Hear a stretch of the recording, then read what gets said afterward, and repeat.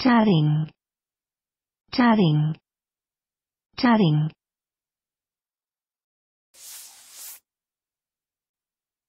Noun. 1.